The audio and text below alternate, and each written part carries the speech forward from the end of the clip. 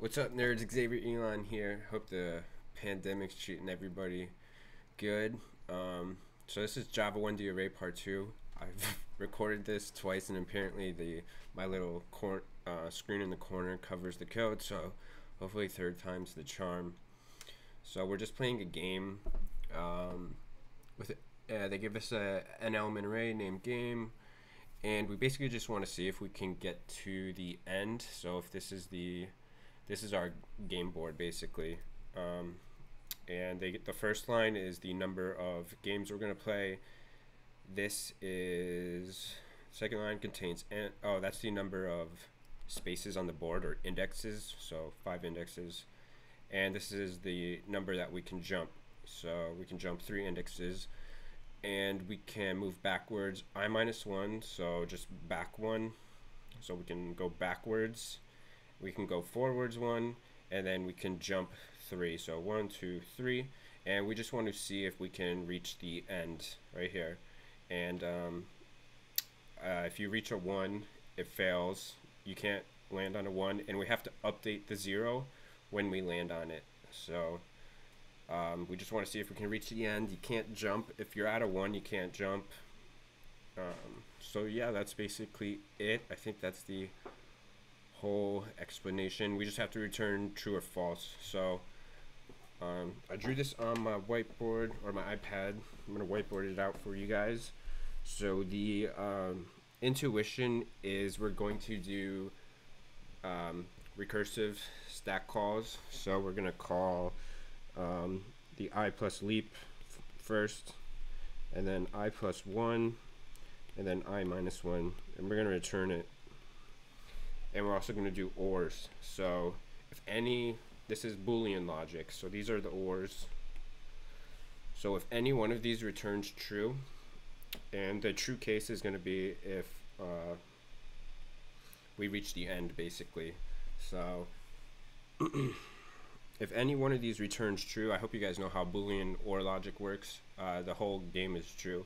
But if we're false, it's going to keep, it's going to check the other ones, and it's going to recursively call it in a stack. I hope you guys know how stacks work. I don't want to have to go over recursive stack functions in this video because that's kind of a long top uh, subject.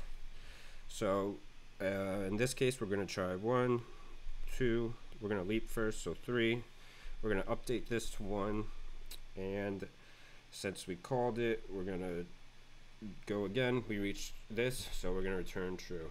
We reached the end um, down here we're going to do one two three. We can't do that so we're going to try i plus 1 next.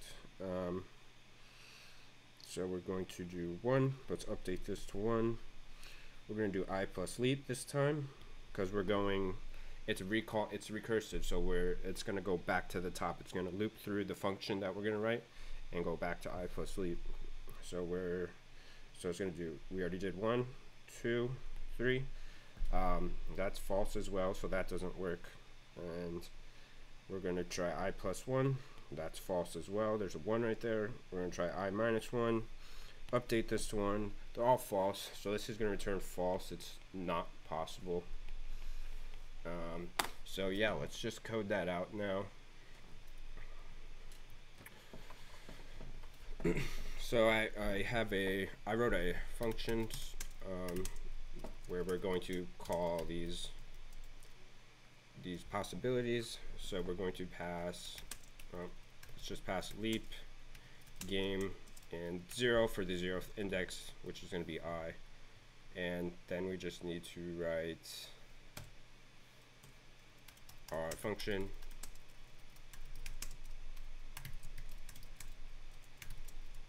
and pass in our parameters.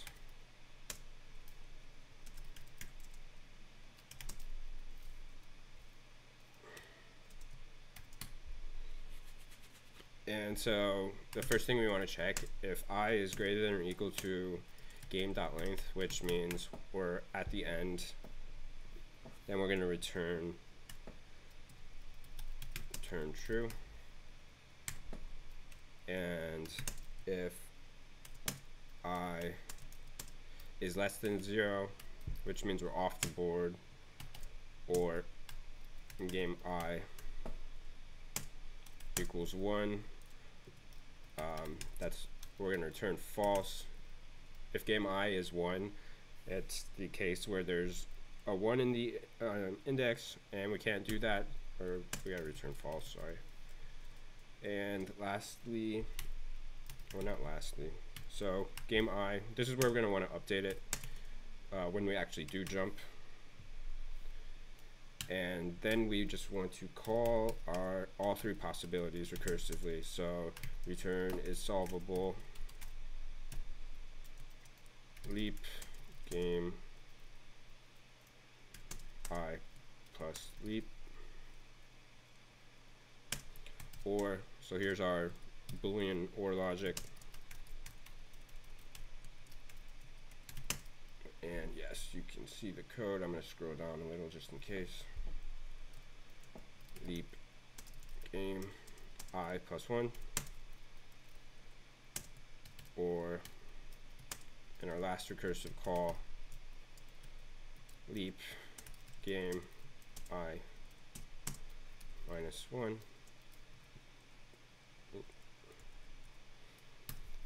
that should be it for the that's all you have to do It should work Let's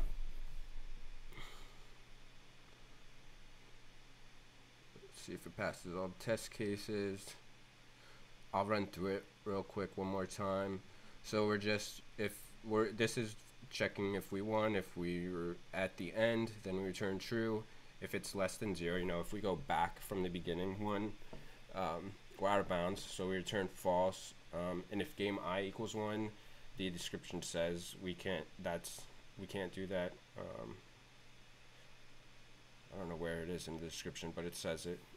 And so we're going to return false and here's where we're just updating it when we jump. So if we jump to a 0 we have to update it to a 1 because we've already been there. And here's the most the meat of the code. So we're, we're calling it recursively we're passing in i plus leap so that's our oh sorry yeah i fell asleep um, So we're calling that, it's going to go through and we're going to update the zero and it's going to reach this again and it's going to call leap again.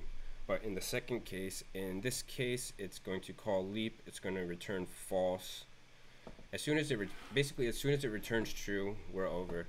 Um, so in the first example, in this example, it's going to return true on the second is solvable i plus leap call in the second example, it's going to run, it's going to try a few. Um, I think we tried leap first, that didn't work. So we tried i plus 1, that worked. So we tried i plus leap again. Um, those all returned false. And eventually we just run out of possibilities. And that's basically it. Um, if you guys have any questions, please let me know. Uh, please subscribe to my channel if you haven't already. I'll be doing um, videos. Calculus 2 is kind of kicking my ass right now. So I haven't been doing as many, but I plan on getting back to it. Um, thanks for watching, guys. We'll see you in the next video.